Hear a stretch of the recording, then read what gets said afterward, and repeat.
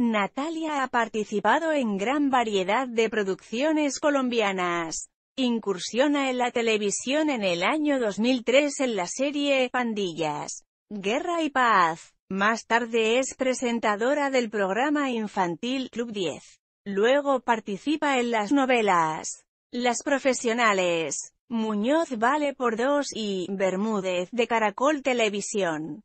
Es protagonista del cortometraje El elefante rojo. Ganadora Mejor Película y Dirección del New York School of Visual Arts en 2009. En 2010 interpretó a Fabiana Medina, en la serie Isa Teca más de Nickelodeon.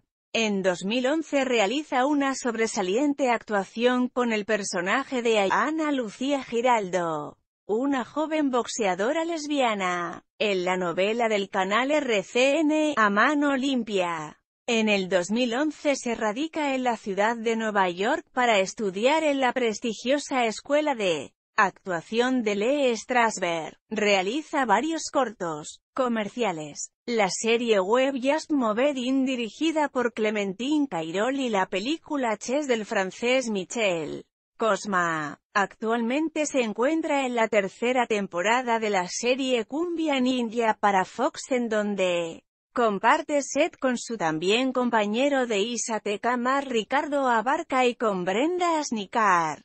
Patito Feo. Participó como Florencia Guerrero en la versión colombiana de la serie argentina Dulce Amor para Caracol Televisión y hace parte de la película Desterrada de Diego Guerra. Protagoniza en 2015 la serie Lady, la vendedora de rosas, producida por Teleset para Sony Pictures Television con gran éxito en todo Latinoamérica al ser emitida por Netflix, RCN y Univision.